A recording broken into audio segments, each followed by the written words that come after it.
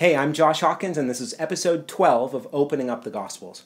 In episode 11, we looked briefly at Luke 1, verses 5 through 12, and the story of Zechariah and Elizabeth, the parents of John the Baptist. We saw that they were both of priestly lineage and were righteous before God, but they were of old age, and Elizabeth was barren. Again, this would have been a tremendous reproach for them to bear. Just imagine how they felt, countless times, asking God at 30 years old, weeping still more together at 40, and groaning and even losing hope by 50, unable to bear a child and assuming that God just didn't hear them. They maybe even watched close friends become pregnant and have children that grew into young men and young women, and the pain of her barrenness went even deeper. But as we'll see, the Lord had some other plans, some major plans for this couple from the hill country of Judea. Let's pick up today, starting in Luke 1, verse 11. And there appeared to him an angel of the Lord standing on the right side of the altar of incense. And Zechariah was troubled when he saw him, and fear fell upon him. But the angel said to him, Do not be afraid, Zechariah, for your prayer has been heard, and your wife Elizabeth will bear you a son, and you shall call his name John. And you will have joy and gladness, and many will rejoice at his birth, for he will be great before the Lord.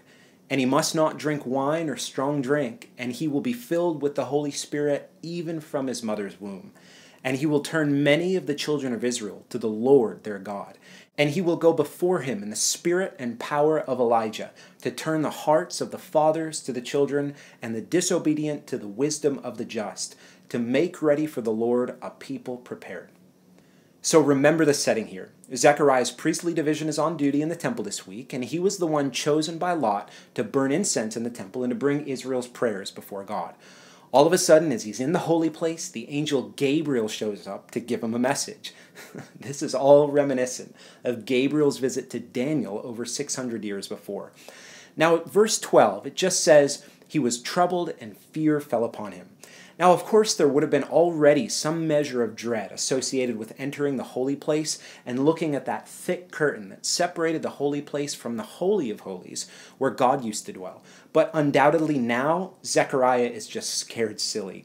Now, I have no idea what an angel looks like, but verse 11 just says that he's there, just standing to the right of the altar that now has burning coals and incense rising from it. Now, just imagine how Zechariah felt. Was he even able to compose himself and actually look at Gabriel as he was speaking to him? Now, Gabriel's entire message is significant, but he speaks an important phrase in verse 13. He says, Your prayer has been heard. But the all important question I want you to see here is what prayer? As I've already said, surely Zechariah and Elizabeth would have prayed an endless number of times, asking God to be able to bear a child. But Zechariah wasn't having his quiet time when Gabriel showed up. We can't forget what he's doing there in the temple. He's standing on behalf of the nation of Israel who's looking for God to answer their corporate prayers for a deliverer, a king, permanent possession of the land, and all of the things that he had promised them through the covenants. Now, this is where it gets awesome. It's so clear that the answer to Zechariah and Elizabeth's prayer as a couple is intimately knit and connected with the answer to Israel's corporate prayers for God to do all that he had promised. Gabriel says that Elizabeth will bear a son and they will call his name John, which means God is gracious. Now, surely God was being gracious to both the aged couple and to Israel because Gabriel said that John would bring them joy and thus removing Elizabeth's reproach from among the people, and also would turn many in Israel back to the Lord their God as he prepared the people for the Lord's coming. In a couple of future episodes, we're going to look much, much more at the importance of John and his ministry related to Israel and how it really sets the tone for so many of the things that we see going on in the Gospels. But here, just think about it when it seemed like there was no hope for Zechariah and Elizabeth to bear children, and when it seemed like there was no hope for Israel when they lay under the oppression of Rome without a Davidic king, with no Yahweh dwelling in the temple, God was making it clear that He had not forgotten about all of the things that He had spoken through the law and the prophets. An angel shows up, and the whole story, in just a moment, is back in motion again. So let's go back to Luke 1 and briefly check out Zechariah's response to Gabriel. And Zechariah said to the angel, How shall I know this? For I'm an old man, and my wife is advanced in years. And the angel answered him, I am Gabriel. I stand in the presence of God, and I was sent to speak to you and bring you this good news. And behold, you will be silent and unable to speak until the day that these things take place, because you did not believe my words, which will be fulfilled in their time. And the people were waiting for Zechariah, and they were wondering at his delay in the temple. And when he came out, he was unable to speak to them, and they realized that he had seen a vision in the temple. And he kept making signs to them and remained mute. And when his time of service was ended, he went to his home. The most striking thing we see here is just Zechariah's unbelief. The message came from Gabriel, the one who stands before God and hears what he decrees. Now, because of his doubt, Gabriel says that he would be mute until John was born. I mean, just imagine if you're Zechariah here. You get chosen by Lot, you see an angel in the temple, and you come out mute. That's one crazy day at work. And it's not something that just affected him for the rest of the day, but for at least another nine months.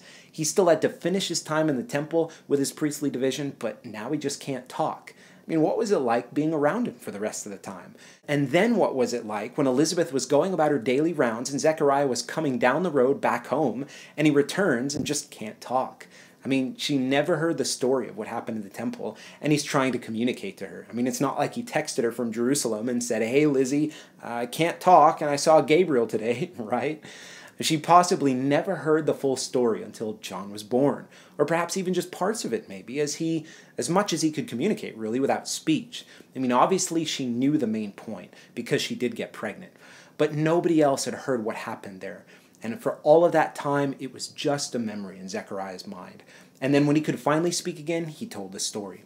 What was home life like for the two of them for those months? Remember, this isn't a fairy tale, and it really happened with two real humans just like us. So, looking back at the last couple of verses from this section in Luke. After these days, his wife Elizabeth conceived, and for five months she kept herself hidden, saying, Thus the Lord has done for me in the days when he looked upon me, to take away my reproach among people. So not only is Zechariah mute, but Elizabeth goes into hiding for five months, surely thanking and praising God for what he had done. But what did their neighbors and those in the surrounding villages in the hill country of Judea think of them? Surely the rumors spread about a possible vision in the temple, but on top of that, what did Elizabeth's friends think about when they didn't see her for five months?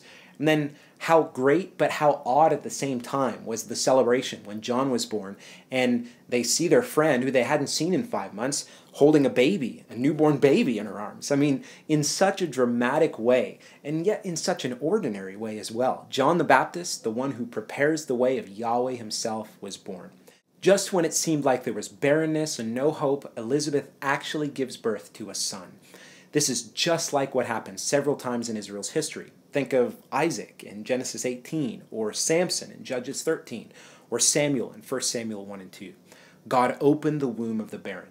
Now, it isn't an accident that this is right at the beginning of the story of the Gospels. It's supposed to tell us that God is again acting in the ways that recall the days of old.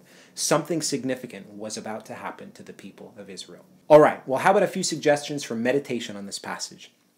First, ask the Lord about why he chose to do it the way that he did. He didn't have to send Gabriel, and he could have picked a completely different way to announce his coming. Second, ponder what it would have been like to not be able to talk for nine months. Then try to figure out how to explain what you saw when you and your buddies were away at work one week. This certainly would not have been easy for either Elizabeth or Zechariah. Third, for you women and especially mothers, think about what it would have been like to have your first child at an old age after you have been trying for decades. What would you be feeling? Well, next week we're going to start to look at the birth of Jesus. I'm completely overwhelmed. I mean, there's just so much to say, so much to meditate on, and so much to stand in awe of when it comes to his birth. I hope you'll join me next time. In the meantime, share these videos with your friends on social media and tag your posts on the Gospels with the hashtag Gospels. I'm just loving seeing some of the things you've been pondering and meditating on, so keep it up. Well, that's it for this week. Bless you, and I'll see you next time.